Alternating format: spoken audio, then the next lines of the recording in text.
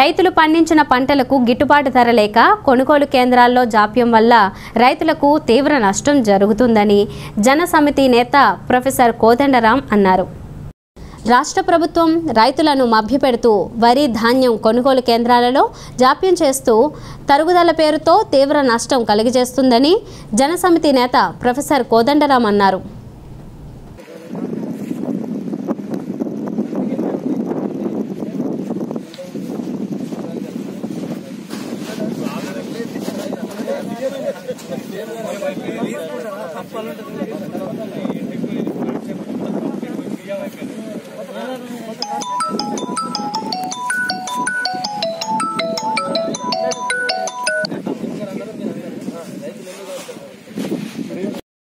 ఇవాళ కొనుగోలు కేంద్రాలలోనైతే రైతులు చాలా అవస్థలు పడుతున్నారు.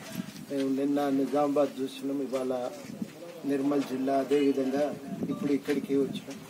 ఎక్కడ పోయినా కానీ కొనుగోలు కేంద్రం కాడ రైతులు తమ కష్టాల గురించే చెప్తున్నారు.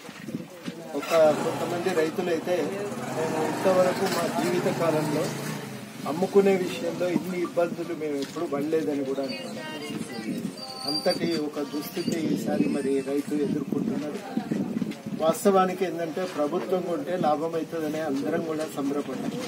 మంచి రేటు వస్తుంది. తూకాల కాడ ఇంకో దగ్గర మోసాలు ఉన్నాయి రైతు బాగా దీనివల్ల లాభపడతాడు అనేది గవర్నమెంట్ కాపాడుతుంది.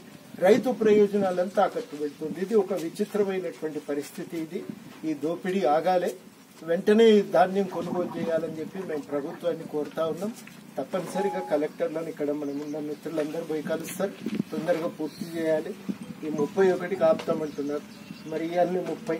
మీరు చూస్తూనే ఉన్నారు ఎంత ధాన్యం ఏడుందో. ఉందో రేపు ఆపుతామంటే వాళ్ళు ఎక్కడికి పోతారు? ఇదివరకు అయితే ప్రైవేటు మార్కెట్ కూడా ఉండేది ఐకేపీ కేంద్రాలతో పాటు. ఇప్పుడు ప్రైవేట్ లేదు. లేకపోయే వరకు మొత్తం ఇక్కడే అమ్మాలి. ఇంకో దగ్గర అమ్ముకోవటానికి లేదు. ప్రైవేట్ మార్కెట్ ఉన్నప్పుడు కొంత రైతులు అటు పోయేది. కొంత నష్టం వచ్చినా పర్వాలేదని అక్కడికి పోయేది. ఐకేపీలు అమ్మేవాళ్ళు ఇక్కడ అమ్ముకునేది. ఇప్పుడు అది లేకపోవడంతో మొత్తం భారం ఇక్కడ పడి మరి ప్రైవేట్లో ఈడ అమ్ముకునే సందర్భం లేదు కాబట్టి ఉన్నదాన్ని కూడా మొత్తం గవర్నమెంట్ కొని రైతును ఆదుకోవాలని ఈ సందర్భంగా మేము ప్రభుత్వాన్ని డిమాండ్ చేస్తున్నాం. జిల్లాల స్థాయిలో పరిష్కారం దొరకకపోతే ఇదివరకే చీఫ్ సెక్రటరీని కలిసి ఈ విషయాలు చెప్పినాం. మళ్ళా కూడా ఒకసారి చీఫ్ సెక్రటరీని కలుస్తాం. అవసరమైతే గవర్నర్ దగ్గరికి కూడా వెళ్ళి ఈ సమస్యలకు పరిష్కారాలను సాధించే ప్రయత్నం